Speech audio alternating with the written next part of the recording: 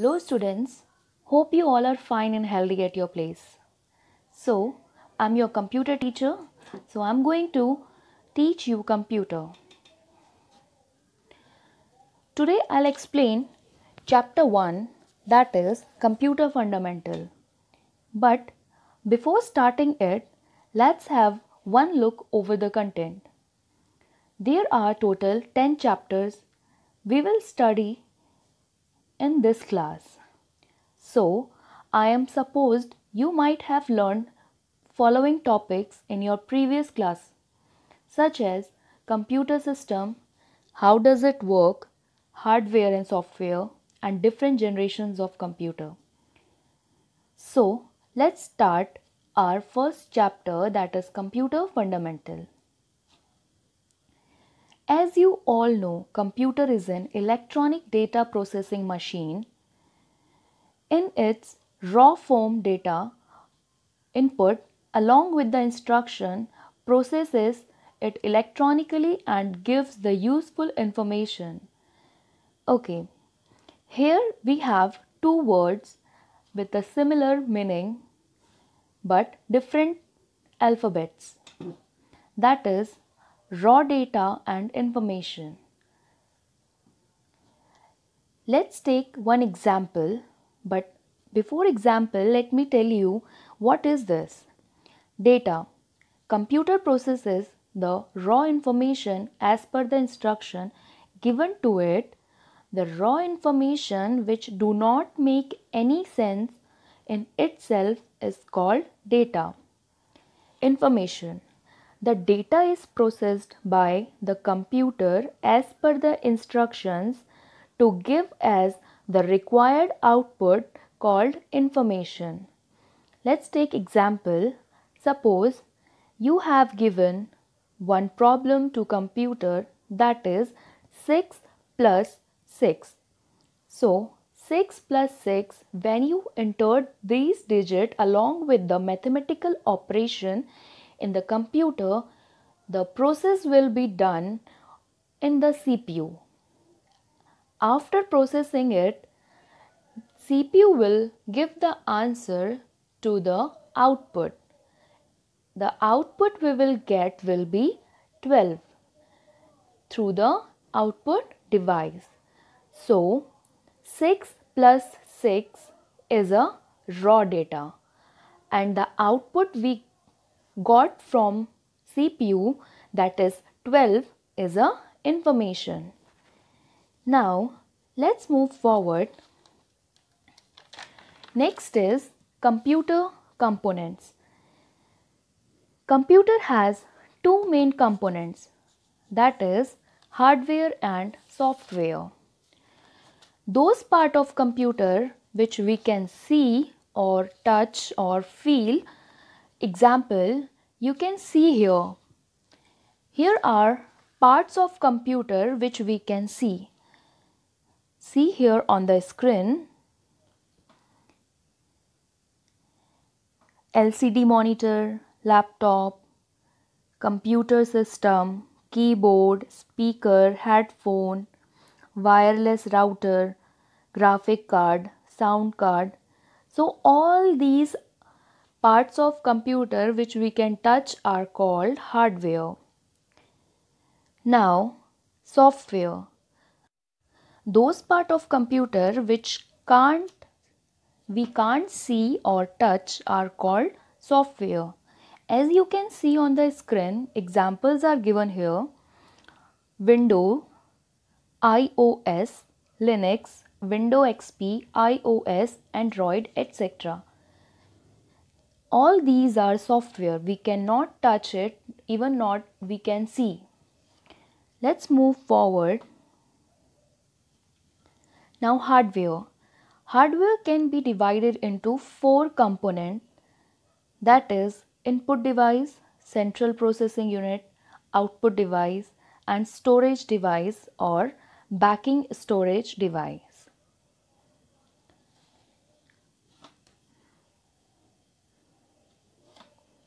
So next topic will be IPO cycle. But first, let me tell you what is IPO.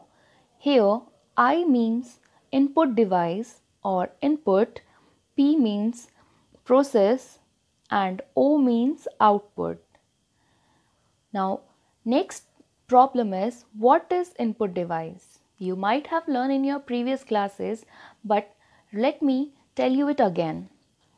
Input device hardware devices which are connected with the computer to give data and instruction to the computer are called input device. Right? Again let me tell you hardware those hardware device which are connected with computer to give data or instruction to the computer they are known as input device. You can see your example keyboard, mouse, scanner, UPC reader, microphone. These all are part of computer which externally connected and used to give command or instruction to the computer. So next is output device.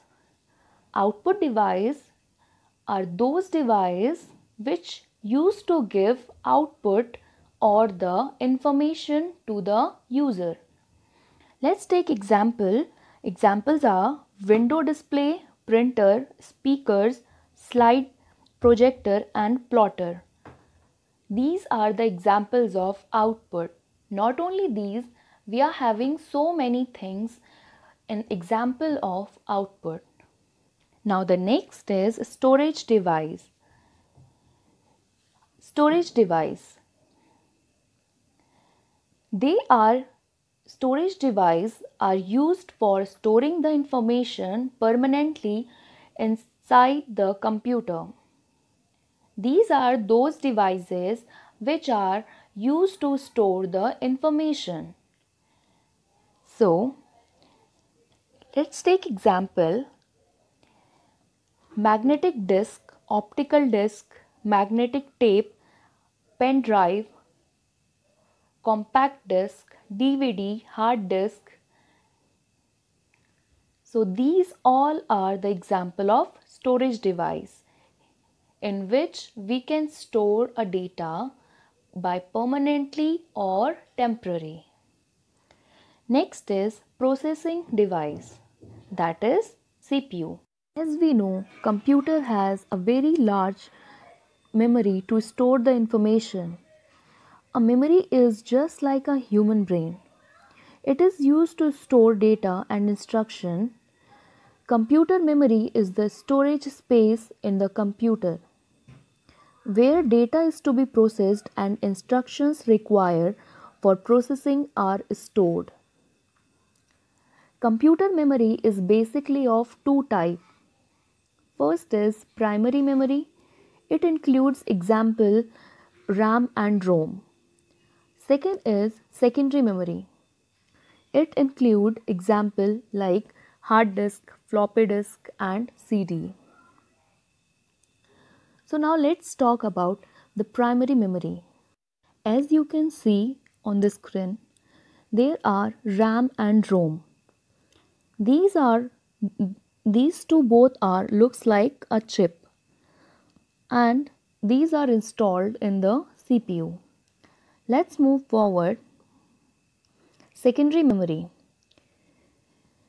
If we need to store large amount of data or program permanently we need a cheaper or permanent memory such as a secondary memory here again secondary memory is divided into two parts first is fixed devices second is removable device fixed device example include like hard uh, hard disk drive cd dvd drive whereas the removable uh, devices like pen drive, Blu-ray disc.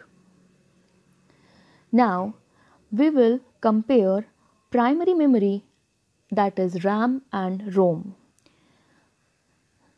On the basis, basic is RAM, it is a read and write memory. ROM, it is read only memory. Use it used to store the data that has to be currently processed by CPU temporarily. And ROM, it stores the instruction required during boot strip of computer. Boot strip means to restart a computer. Now, volatility. It is a volatile memory. ROM. ROM is a non-volatile memory. Volatile means where you can retrieve the information, you can reuse or uh, re recognize the information. Now, standards for what is RAM? RAM is a random access memory, whereas ROM is a read only memory. Now, modification data in RAM can be modified we can change the data in RAM. Whereas in ROM, we cannot modify the data which we already saved. Now about the capacity. RAM sizes from 64 MB to 4 GB. This is the limit of RAM. Now ROM. ROM is comparatively smaller than RAM. ROM is a smaller than RAM.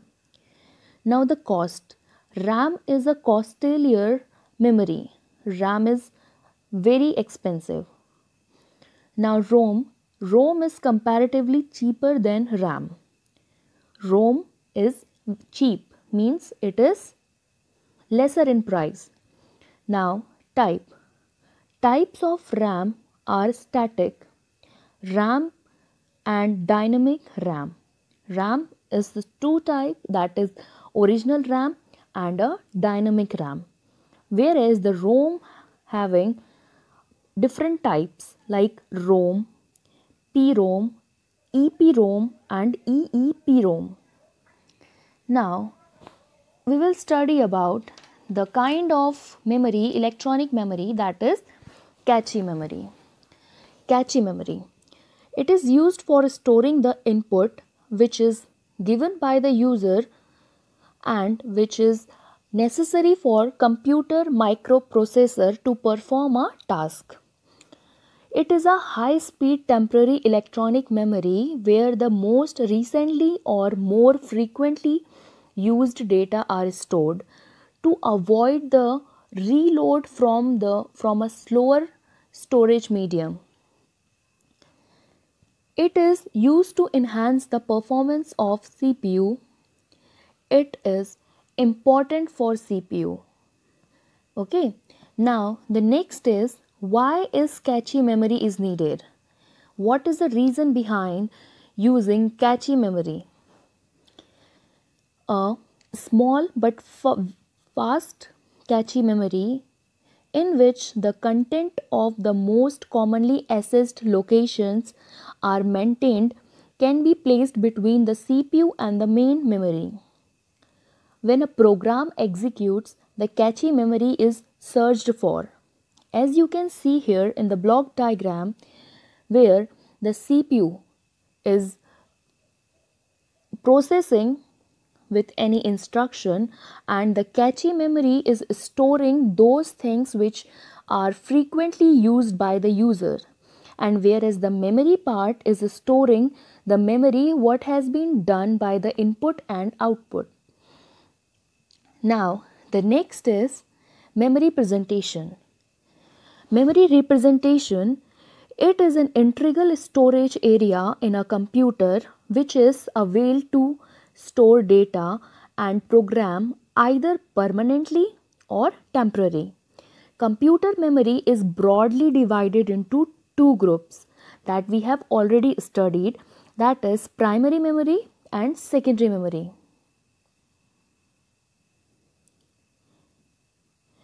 When a when the main memory hold the instructions and data when a program is executing the auxiliary memory or secondary memory hold the data and program which is not currently in use and furnishes long term storage.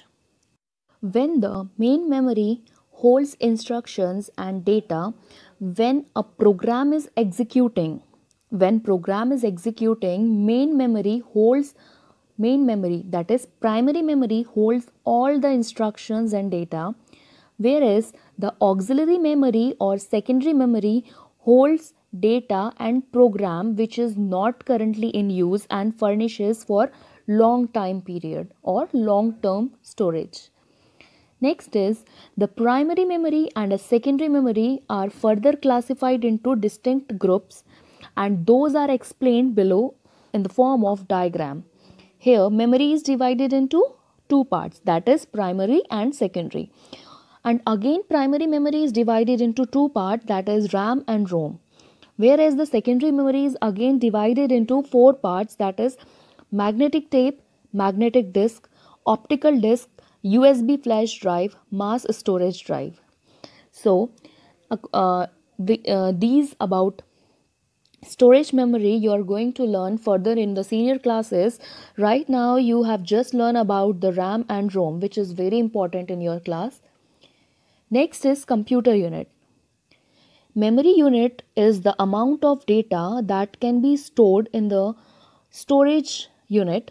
This storage capacity is expressed in the term of bytes where we store the data in our computer that that data is measured in the unit of byte the following point explain the main memory storage units so one bit is that is bit is known as bit is the short form whereas the full form of bit is binary digit.